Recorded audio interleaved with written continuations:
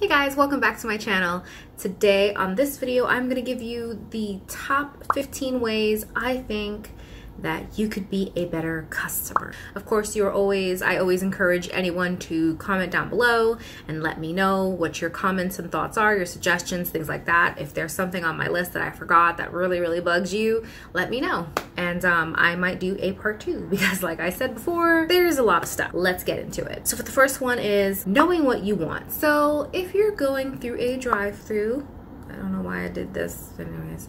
So you're going to the drive-thru and you pull up through the speaker and the person says, Hi, welcome to fast food generic joint. How can I help you today? Please don't go, can you give me one second? Please don't because most drive-through places are on a timer and they get yelled at because you can't make up your mind. If you can, maybe wait a little bit more, try to look at the menu or maybe ask a friend if you're with a friend what suggestions they have. Kind of low more or less what you want. Like go in there with, mm, I want a burger, but I'm not sure what customizations I can get so that at least when you get there and they're like, hey, what can I get for you? You just say, hey, I want a burger, but what kind of toppings can I put on that? Because then it just opens the conversation, allows that person to help you make a really quick decision, and they're able to get you through that line quick so that the people behind you don't start getting annoyed and then they give the poor person that is taking their order angry face because that's usually what ends up happening. They can't give you angry face, so they're to give the person who's taking their order angry face. So, try to find a way to know what you want before you get to that speaker because the moment your little tire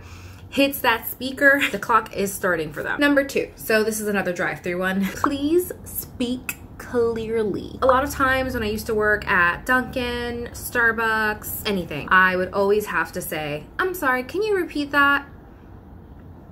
A little bit louder.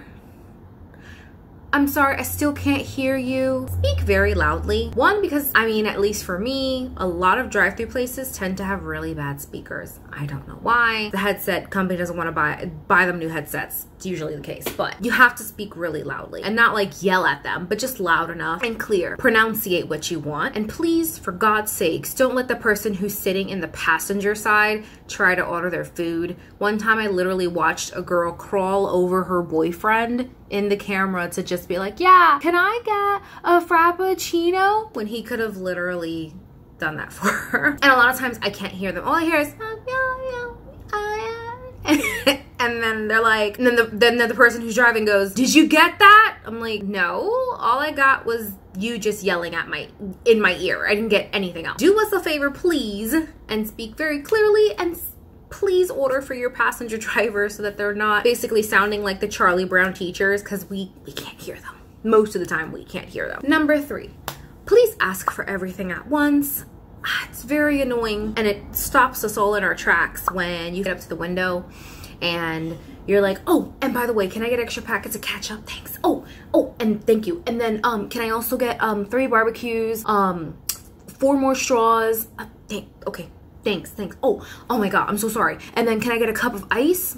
Please, extra ice. And then they give you the cup of ice. Oh, no, no, no, I'm sorry. I wanted a big cup. I wanted a big cup. Please don't. That is the most infuriating thing that a person could possibly do. It's very, very annoying. I understand you forget to ask for something I've done it, but when it's multiple things all at once and that poor person is going just for you, once again, it stops everybody else in their tracks and then that person starts to get annoyed with you because it just seems like you're doing it on purpose because you're literally asking for them for something one at a time and it's, it's just freaking annoying. Please don't do it. Number four. Number four is to have your money ready. Haha, very important thing please have your money ready. When you are at the register or you are pulling up, it is so annoying when someone goes, oh, one second.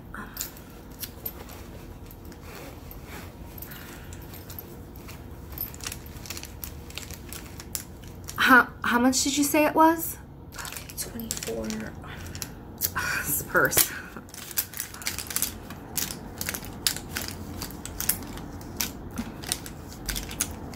because then they start looking at another person that has nothing to do with them, but they're interested because the person is now standing closer because they probably want to order. And so they're standing closer to that person to intimidate them, which then makes that person nervous. And now all of a sudden they can't find what they're looking for. And then they go, how much did you say it was again? Um, all right. So, uh, just here's a 20. And then what was the change? Oh, okay. Um, so much change in here. sorry, sorry. And then, and then they take the change and then all over the counter. And they're like, just, just take it. Just whatever. Just take it. Give yourself a tip in it too. I mean, please don't.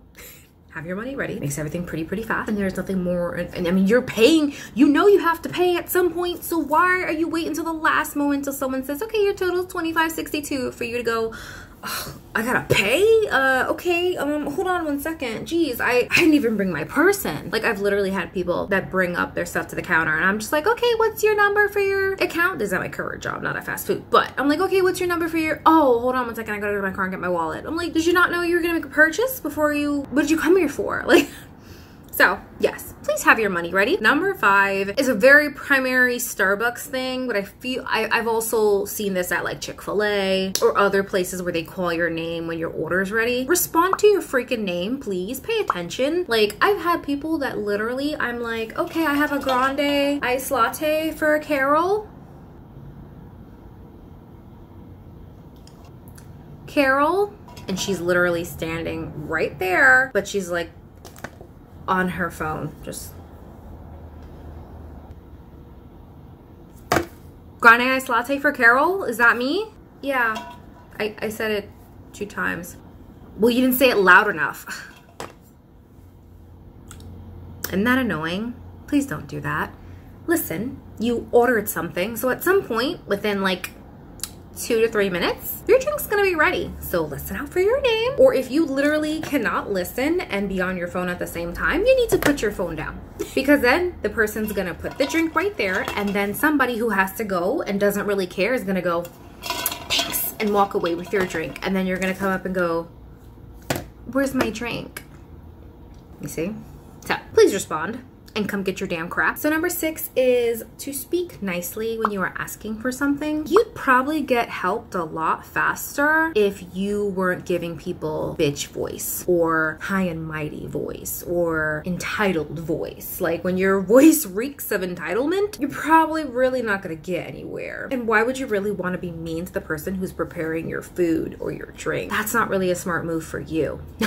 not saying necessarily that will do something to it. I hope nobody would ever do that. But I hope that nobody would ever do that. But probably get your drink a lot faster and they'll be more willing to go out of their way and help you and fix whatever your your problem is if you just come up to them and speak to them nicely. We are people too. And it's not okay for a lot of the customers out there to speak to us the way you do. I mean, I've listened, I've literally listened to people degrade someone just because I didn't put extra whip on your drink or because they don't taste any sugar and they asked for 12 pumps because they wanted a diabetes drink. Like, please don't. Number seven. So I know a lot of people might say, well, it's your job to clean the bathroom. So you shouldn't be asking us to clean the bathroom. But at the same time, there's certain things that I think another person should not pick up. Like tampons, pads, dirty wads of paper that somehow didn't make it to the toilet and they were used, miscellaneous pieces of paper that just so happened to fall down down on the floor. Don't get me wrong. I understand being in a rush and you're just using the bathroom really quick and you leave and blah, blah, blah. And like I said, it is part of our job to clean the bathroom. But to the point where you're like, you gotta put on the gloves and the hazmat and all of a sudden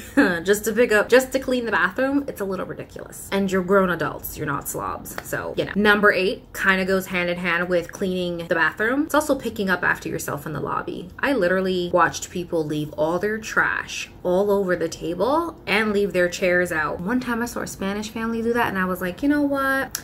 As a Puerto Rican slash Dominican, I'm like insulted right now. Like your mom, I know damn well your mom has taught you better to push in your chair after you're done. Yeah, like, I mean, like, and once again, I understand it's my job. You know, I'm gonna go anyways and pick it up and clean because I have to sanitize the tables after everybody uses it. But it's really, really crappy of you as a person to leave all your trash. I mean, I'm talking about empty cups, bunches of tissue paper, newspaper, wrappers, ah, popcorn all over the place.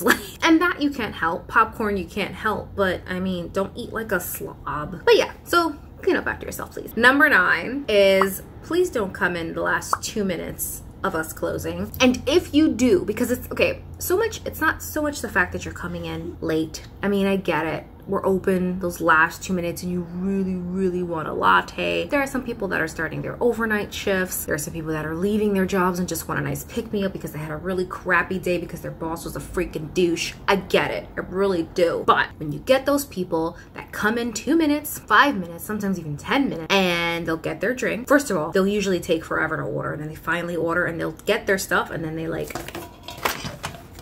they set up the entire table as if they're gonna be there for two hours. And then they're just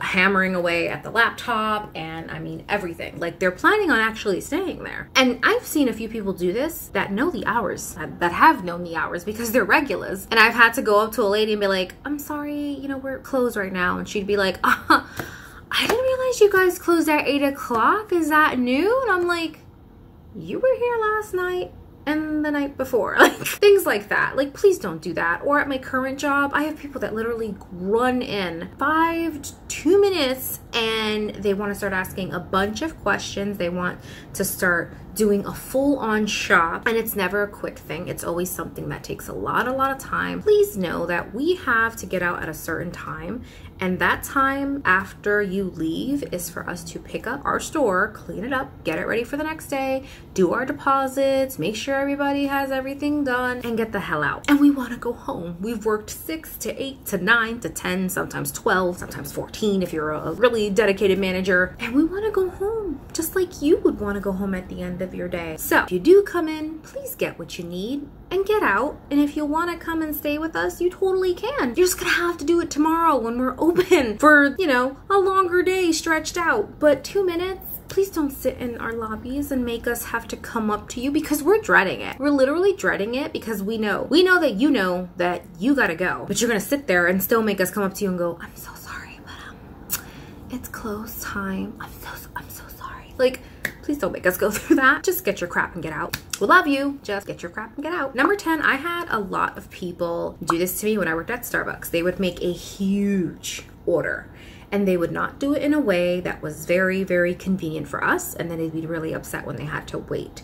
So like for instance, they'd order a big jug of coffee, which takes like some time to brew and then get everything together, that can take as much as 30 minutes, especially if we're busy. I would advise you to please either call ahead if you can, if you're whatever service you're trying to get, whatever fast food service you're trying to get, if they take orders over the phone, I would call them and say, listen, I have a really, really big order. I'm about to be there in like 10 minutes. Would you mind getting this order started? Is that something you guys do? If they say yes, let them know everything. Be detailed. Don't be that person once again that comes in, you're like, oh, and did you get this? And oh, oh, and can you, can you, and can I get, and can I get extra things and can I get extra, oh, and I want a large order of fries. And no, say everything you need. Or we have apps these days. Use the app to your advantage. I've had lots of people who are wonderful at Starbucks and they used to order those big jugs of coffee through their app. And so I knew it was coming and I had a, a great amount of time to get everything ready for them. They were happy. I was happy. Everybody was happy because nobody had to wait while we had to get all their orders ready because they would come in and do that. Number 11 is coupons. So at Dunkin' Donuts, I dealt a lot with people who would give me coupons and they'd be expired and then they'd make a really, really, really big stink about it. Most of the time that you get these coupons, you're getting them almost a month in advance. If it takes you a month to come to us, one, you probably don't even like us that much. And two, I just, it's really upsetting. Like, you have no right to come up to me and say, expired? Well, I still want to use that. No, it's expired. You had a whole freaking month to use this coupon. So, unfortunately, you're gonna have to let it go. You should have used it in the amount of time. That's why everything has a freaking expiration date. It's not whenever you want to use it. It has an expiration date. So respect the expiration date. Number 12 is a little thing. Little little thing. Please don't snatch stuff from us. That's really freaking rude. Like, how would you like it if you, how would you like it if you were going to hand us something, um, let's say your card or anything. And we just went, we just went or this whole little that that sound that sound right there that's a really disrespectful sound. Do not rip anything out of our hands. Same way we pass things to you really nicely. Pass things to us as well. Or when we go like this and you take the money and go right right past the hand like intentionally because i'm so sorry. How can you miss this palm? Just just waiting just open open and ready. I've gone like this sometimes to someone and literally they still went threw the money underneath my hand. Like, Trust me, I don't like money either. But respectfully, I open my hand to take your money. And respectfully, you should put the money in my freaking hand so I can count it really quickly because sometimes trying to pick up money with these hands is very annoying. And then it takes me extra time to go trying to pick up that dime. Number 13 is do not cuss. Do not cuss at us and do not insult us. Once again, this goes into the first thing that I said before, asking really nicely when you need something. Remember that you're talking to a human being that has feelings, emotions. They're providing a service for you. They're trying to do the best possible job that they can. Most of us because there are some people I've met that really don't give, okay? And you can tell. The person is really, really nice to you and they're trying really, really hard and they're just, you know, they're saying, I'm sorry, they're being really energetic, they're trying to help you. It's really crappy of you as a person to go, well, you're a bitch because you're not giving me what I'm asking for and I don't give a shit what you just said. You're still a bitch, you're miserable, and you deserve to die. like, that's pretty far, don't you think? Over a latte or a burger or a fry, like, let's think a little bit about this, friend. this is not okay language over food. As a society, as a country, we need to be much better at asking for what we need without insulting or, or degrading someone to get something. I don't know what it is about people that some people are just so nasty and they want something from me but they're so nasty about it. It's just not it's just not okay. Please don't do it because you're gonna get whatever you deserve afterwards. Because when that person finally snaps and you see those videos like mcdonald's where those mcdonald's workers are like beating on the customer you know what? A lot of times they deserve it. That's all i'm saying. That's all i'm saying. It's just only a matter of time before one of us snaps. So Speak very nicely when you ask for stuff. Thanks. Number 14. Don't snap your fingers at us, please. Don't. That's that's really freaking annoying. This, ma'am, excuse me. Am I a dog? Do you see adorable, cute little ears and a little snout? No, you do not snap. You shouldn't even snap at a dog, actually. What the hell is that, snapping at a dog? Like, you're supposed to go, hi, B. Hey, That, that's how you get dogs' attention. And I'm not saying you should do that to us, but it's a lot more respectful than going, excuse me, ma'am, yes, what do you want? that's what I should do to you. Do you like that? Would you like that if I snapped in your face? Yes, what can I get for you, ma'am? What do you need? Okay, what size? What flavor? that's really freaking annoying, right? Totally disrespectful. Don't do it. It's very freaking annoying. You're not, you're not in a jazz club, like ma'am. And finally, the last one, number 15, asking for a refund after you've ingested the entire item, whether it be drinks, food, whatever. Please do not come up and say, I did not like this. It was disgusting. It was the worst thing I've ever drank and I want my money back. Number one, if it was that disgusting, I don't really think you'd be able to finish the entire cup. Just saying. Especially like a 24 fluid ounce drink. That's a pretty big drink.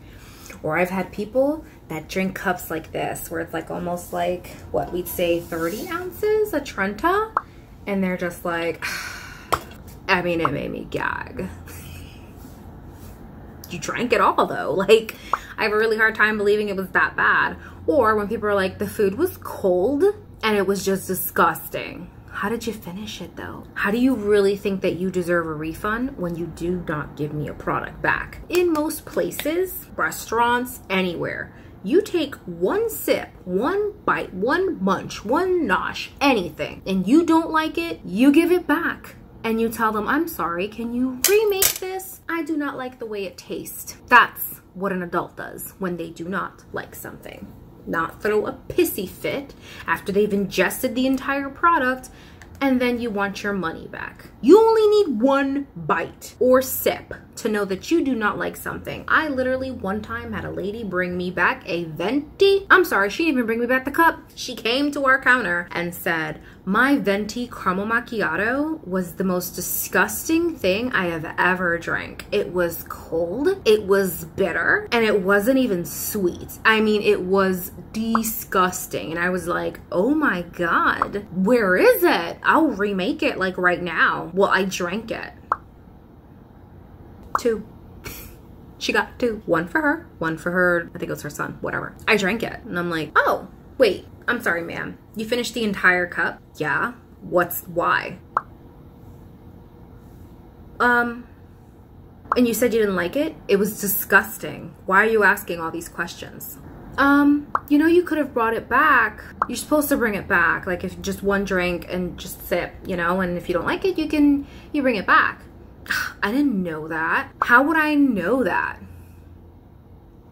Because this isn't your first time coming to fucking Starbucks, ma'am. I know damn well you know policy. But she sat there with a straight face, kept looking at me dead in the eyes and said, nope, I want my refund because I drank it and it was not perfect. And I said, ma'am, you are not getting your refund. You can have another drink on me I will make you another drink, but you are not getting She did not want that. She wanted a refund. I didn't give it to her. She left that day very upset and said, I will never be back. And I was like, okay, I'll see you tomorrow. that is my point. How was I supposed to know? Because that's the fucking rule of food. Everybody in the world knows that if you take a bite or a sip of something, you do not enjoy it, you fucking bring it back and the person makes it right. That is the law of fast food or food in general. So, straying way off topic, but that's still something that sticks with me till this day. And that about wraps it up. If I forgot anything, because like I said before, I'm sure there is way more that I'm forgetting. Please leave me a comment down below letting me know of the most important, letting me know of the most annoying things that have happened to you, things that you think that we should add to this list. It's right here. I got a list let me know. And I think I might end up doing a part two. So thank you so much for watching this video and I will catch you on the next one. See ya.